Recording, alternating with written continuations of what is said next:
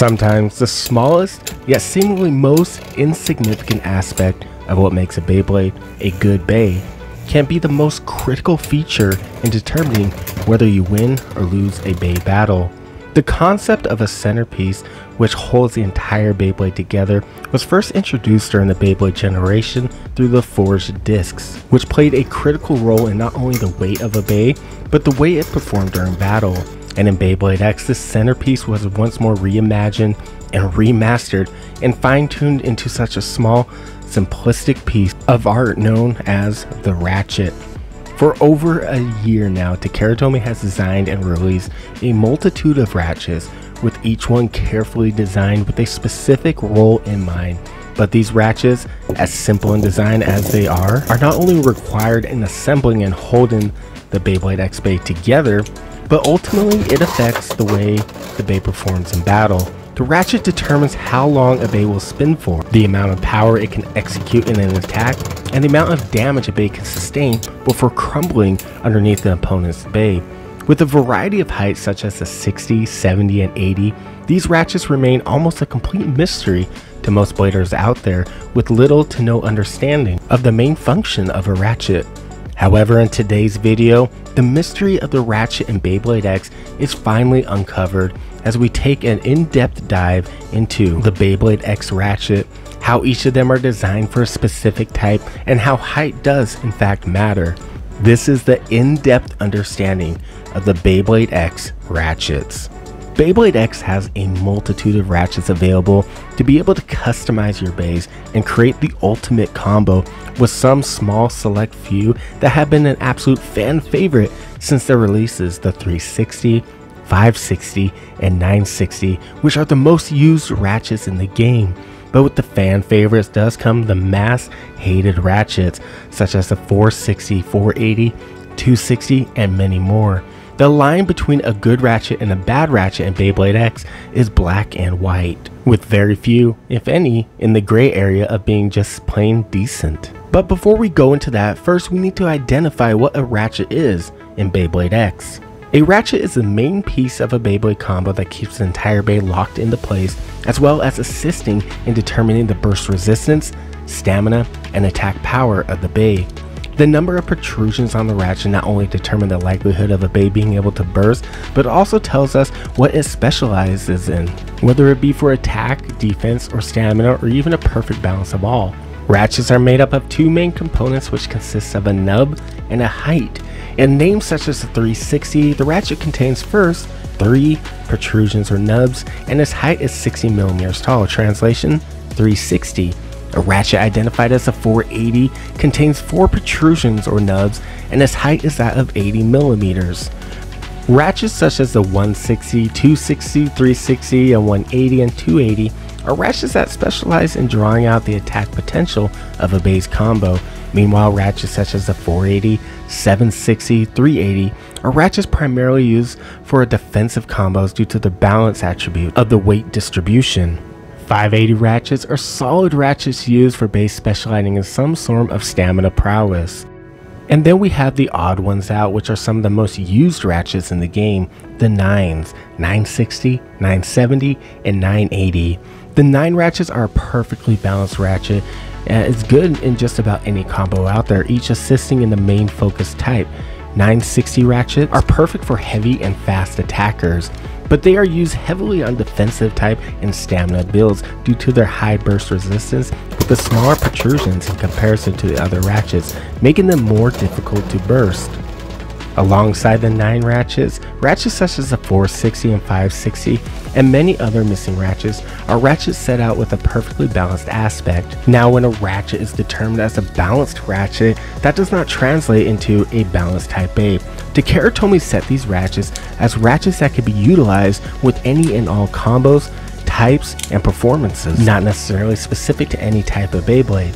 But one of the biggest arguments in the Beyblade community is whether or not the height of the ratchet actually does make a difference or not. Many people assume that the higher ratchets are weaker, burst more, and are otherwise just terrible to use, focusing solely on the 60 ratchets. However, according to Takara Tomy and the in-depth analysis of the construction of the ratchets, height does actually play a very pivotal role in the Bey's performance and does, in fact, make a huge difference. 60 ratchets have a low burst resistance, weaker springs, but is compensated with being lower more tucked in and hidden in the base design, as well as further being protected by a higher burst resistant bit. Lower sitting ratchets work great for attack type Beys or Beys utilizing the attack aspect of a combo. With a higher velocity, speed, and greater impact, the more tucked in and hidden the ratchet is within the attack type Bey, the better. On contrary, the 80 ratchets have a much tighter spring system and this increases the overall burst resistance of a Bey. But much more than that, the taller the ratchet is does play a tremendous role in the physics of a Beyblade X Bey and increasing the stamina. Beyblade uses advanced physics to make, design, and create their Beys, requiring an entire department of scientists and engineers to achieve with an additional lot of employees. Tomy perfected their Beys through Beyblade X. Beyblade X is no longer simple toys focused in general spin-top science known as rational mechanics or rigid body dynamics, where in previous generations of spin tops, the heavier the Bey is, the more likely it will spin longer and win a battle. Rather, Beyblade X expands on the general science of a spin top with incredible detail into the physics of a Beyblade. It compiles four physics concepts in addition to the general rational mechanics science of a spin top. In addition to the physics of a Beyblade, it includes 1. Centrifugal force, an outward force that allows for the rotating object to spin for longer. 2. Friction, the interaction of the Bey and the stadium which directs the motion of a Beyblade. 3.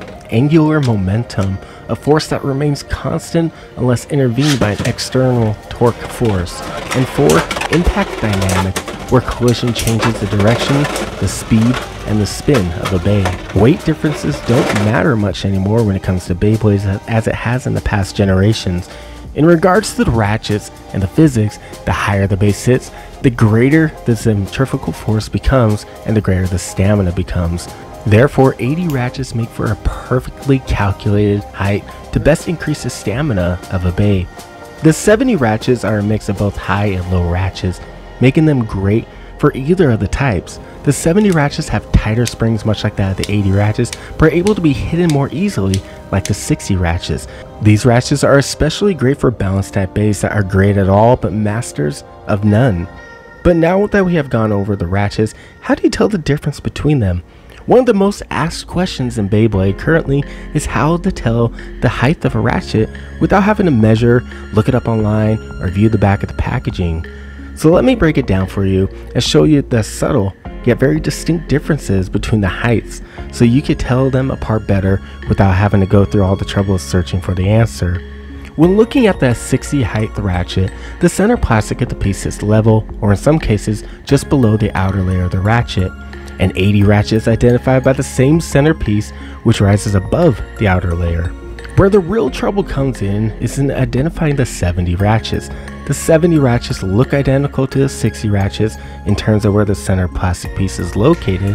However, a subtle sign and differences lies within the main shaft or the bit insert of the ratchet. If you look off to the side of the center insert of the ratchet, you'll notice that there are two bridges or two slopes that extend outward. It is a small feature that neither the 80 ratchets or the 60 ratchets have in their designs. Consolidating everything that we have learned today, we can now fully understand the purpose of the ratchet in Beyblade X. We now understand that the ratchet plays a critical role in the base attack power, stamina capability, and the burst resistance.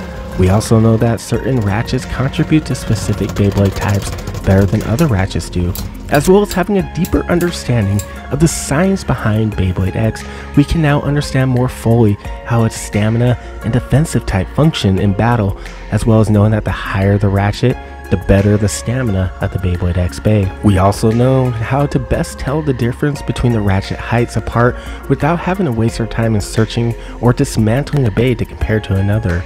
Overall, ratchets are some of the most crucial components of a Beyblade X Bey, and despite everything, in the end, there is no bad ratchet.